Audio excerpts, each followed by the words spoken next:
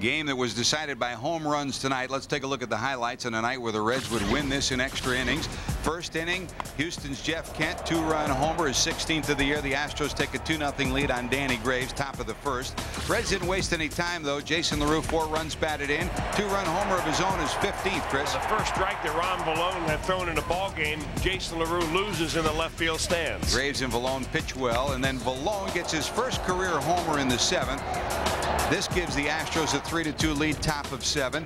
And then it looks like they can expand it even more. But what a defensive play by Brandon Larson at third. He really saved the game right here. That ball stab on the line. Double play result. 5-4-3 double play. Reds, seven. They start to come back. Ray Olmedo, big hit, gives them a 4-3 lead. Mateo and Taylor score. A double for Olmedo. Reds take the lead back. Also in the seventh, LaRue gets two more runs batted in. Stenson and Olmedo score. It's now 6-3 Cincinnati. Astro bullpen not not exactly used to getting touched up like this. And Dotel gives up another one. D'Angelo Jimenez singles. LaRue scores, make it 7-4. They'll get the out to end the inning, but the Reds have a 7-4 lead. Looks like it's going to be enough, but in the eighth, the sacrifice fly gets him within three. Then Biggio's homer, Chris. 3-2 count, fastball. Chris Reitsma throws it in there, and a three-run homer by Biggio ties it all up. His 11th of the year. We go to the 10th. Dunn delivers. What a shot. Brad Lidge gave up a couple of runs last night. A dramatic two-run home run. I like Jeff Piecoro thought that ball was leaving the entire yard going to the river. I never get tired of seeing this. Their celebration jumping at home plate. The bump is alive and well in Cincinnati tonight as the Reds win it. They win it in extra innings in 10, their 14th extra inning victory of the year, and it almost did go out of the ballpark. It hit the fence at the top of the bullpen, only came about five or six feet from going out of this park. Well, a lot of fans going out of this park with a smile on their face tonight. Reds win it in extras. More to talk about on Gold Star Chili Reds Wrap after these messages. The Reds' entire opening day outfield now on the injured list. They're gone. Griffey and Kearns gone for the season. Adam Dunn today heads to the 15-day disabled list, suffering a sprained right thumb, but not before smacking that walk-off homer last night. Let's go to Great American today. Elvis has left the building, and Seth Etherton has entered the place. His Reds debut, first major league start in three years, greeted rudely by Jeff Kent in the second.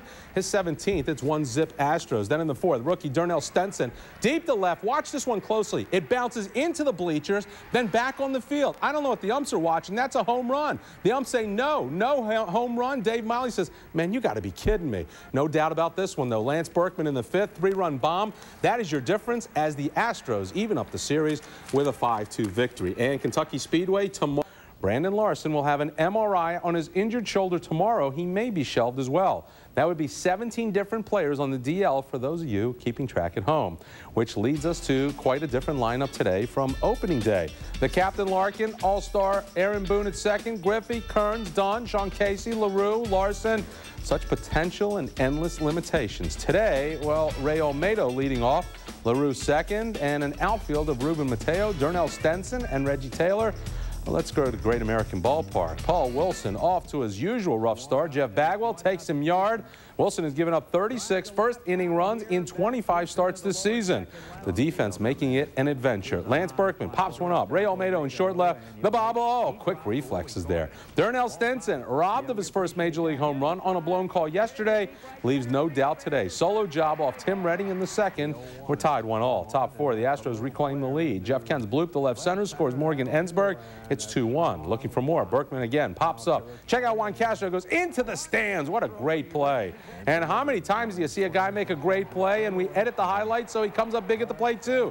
Two on to center, just out of the reach of Colin Porter. Career high ninth home run for Juan. Look how close this one is being caught. It wasn't. 4-3 in the eighth. Kent smokes one to Castro. More gorgeous glove work. The double play ensures the victory. Reds take two out of three. Your final score is 4 to three.